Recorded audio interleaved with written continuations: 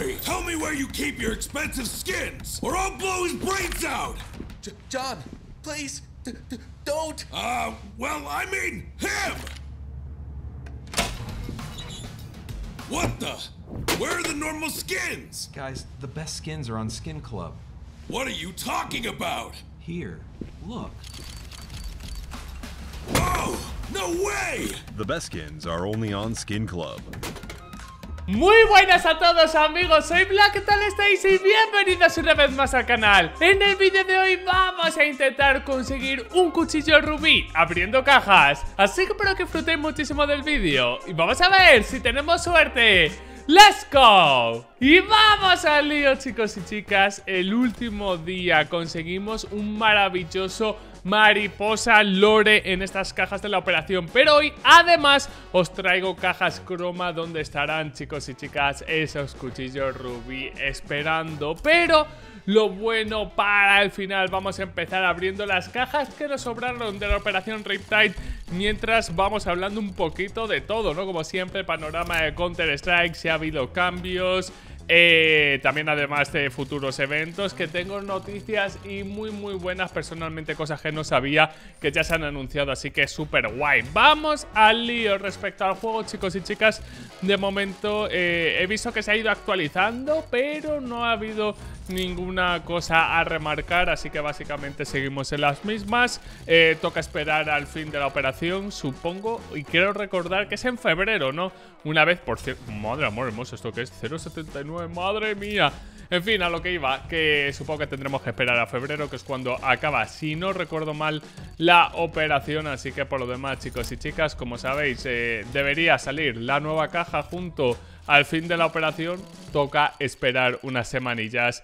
Más cosillas, ahora vamos a respecto a los eventos. Se está jugando un evento actualmente eh, online, como sabéis, en los cuales, eh, bueno, hay equipos como Astralis, Fnatic, Gambit. De hecho, tengo que decir una cosa, eh, Astralis perdió contra K23, Fnatic también ha perdido y se van a encontrar en la primera ronda del Loser Bracket. No sé, el comienzo soñado, ¿no? Ya Astralis con el nuevo roster debería estar carburando, pero no lo parece.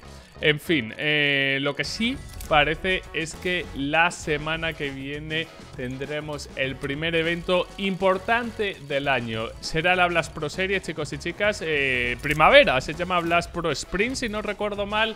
Así que por lo tanto ahí podremos ver qué tal lo hacen los mejores equipos del mundo, ya sea Navi, G2, etcétera, etcétera. Eh, va a prometer una auténtica barbaridad. De hecho, Estuve viendo los rosters, a ver si había cambios que no recordaba. Pues, por ejemplo, mira, ahora se está anunciando el roster de Virginius. Como sabéis, por ejemplo, está Stewie. Stewie ha sido recién anunciado. Y vi, por ejemplo, el de G2. Y ponía que Monesi era sexto jugador. Y yo diciendo, eh, que se ha fumado esta gente. Y de hecho, aparecía como que. Bueno, o sea, la cuenta oficial de G2. Dije, no, no fue la cuenta oficial, creo que fue el entrenador que dijo básicamente en un tweet. El nuevo equipo está funcionando bien. Eh, y pone algo así como Monesi Go Kill. En plan, mata a todos, puto niño. Y el chaval llevaba 40 bajas. Vosotros sabéis lo que es hacerse 40 bajas, chavales, en un partido. Aunque sea de práctica, ¿eh? Es que el chaval iría volando. No sé quién serían los desafortunados, pero motivación el chaval tendrá una auténtica barbaridad. Así que en definitiva, yo creo que de las cosas que más ilusión me hace, no sé a vosotros. Primero, eh, ver a Monesi con G2, ver cómo el crío eh, va volando. Segundo, yo diría el roster de Vitality, ¿no? El roster eh, nuevo con Magis y con Dupri y Zonic de entrenador. Debería también ir volando, pero es la primera vez que ambos equipos se meten en un proyecto internacional. Por cierto, me faltaba una llave. Vamos a comprarla. De hecho, he calculado exactamente el dinero, chavales, para esa apertura. Más de 100 euros gastados, como sabéis. Y bueno, eh, no me va a dar otro cuchillo mariposa. Ahora vamos al importante caja croma 3, donde está pues una de mis M41S favoritas. También la PP Bizon para mí la mejor, la UMP de las mejores, pero 150 Simov. Está muy muy guapa la croma 3 y además tiene cuchillos increíbles. Así que darle una oportunidad, a ver si tenemos suerte.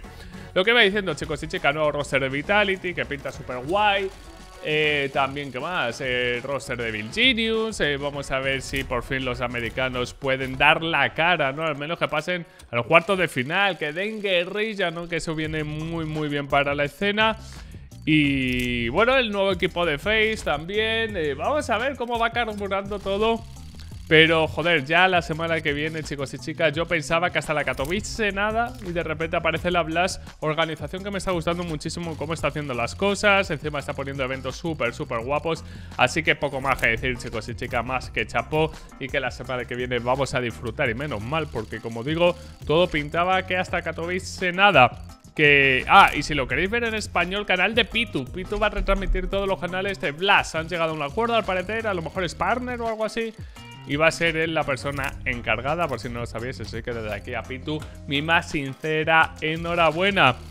Y poco más respecto a la actualidad, yo creo que he dicho absolutamente todo. Está eh, el juego, pues como he dicho, eh, esperando a la caja básicamente. Me gustaría que viniera alguna actualización más que la simple caja.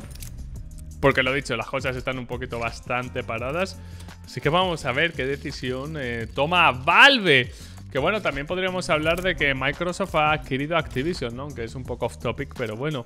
En definitiva que ojalá pasara lo mismo con Valve, ¿sabes? Que alguien cogiera el Counter-Strike y dijera, venga, vamos a darle cariño.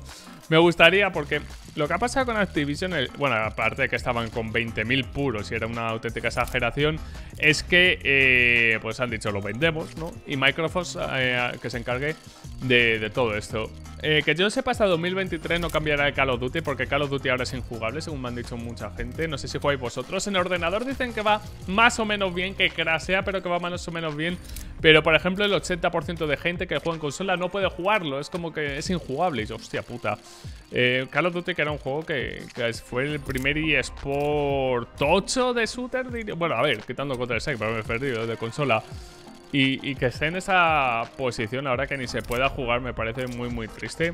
Me molaría que hiciera alguien... Es que Counter-Strike es lo de siempre, ¿no? Tiene tantísimo potencial la comunidad básicamente la que ha hecho que, el juego llegue hasta donde esté y Valve mientras tanto dándole cariño a Dota. A vosotros os molaría que no. O sea, Microsoft, imagínate, adquiere Valve. Pero es que Valve, evidentemente. Valve vale bastante baja Activision o. Es que es Activision Blizzard, ¿eh? ¿Valve vale más que Activision y Blizzard unidos? Es una muy buena pregunta, ¿eh? Porque dice, hey Blizzard, dice, coño, tiene WoW, tiene Overwatch, bueno, Overwatch es poco meme, pero me entendéis, ¿no? Y dice, bueno, tal, pero es Activision, tiene Call of Duty, que es una empresa que genera, bueno, es un juego que genera muchísimos millones por el tema de, Warzone y las microtransacciones. De hecho, tiene hasta código de creador. Luego tiene cosas como Crash Bandicoot, Spiro, tal, no sé qué. Bueno, tiene sus cosillas, ¿no? Pero, ¿valdrá más? Dime en los comentarios. Es que, claro, Counter... Valve, dices, eh, Dota y Counter. 20 años, ¿no? De, juego. Dota no sé cuántos años tiene exactamente, pero por, por el palo debe ir, por el palo debe ir. Así que nada, chicos, bueno, un poquito off topic, pero creo que, que mola la conversación, ha estado divertida. Eh, vamos a abrir las últimas cajas, por favor. Voy a abrir algunas cajas a toda velocidad, a ver si hay suerte haciendo la de stacks. Como siempre digo, es una cosa que a mí personalmente no me funciona. Es que esto no funciona. O sea, hay gente que me dice, no, Black, dale escape que seguro que te tocan cosas buenas. Me toca una mierda. O sea, pero vosotros estáis viendo esto. ¿Por qué me decís cosas que no son verdad? En la leche. En fin, chicos y chicas, espero de corazón que os haya gustado el vídeo. Espero que hayáis disfrutado de esta charla mientras abrimos cajas. Si es así, reventad el botón de like, no olvidéis suscribiros. Y nos vemos mañana con mucho más. Un saludo y hasta la próxima. Chao, chao.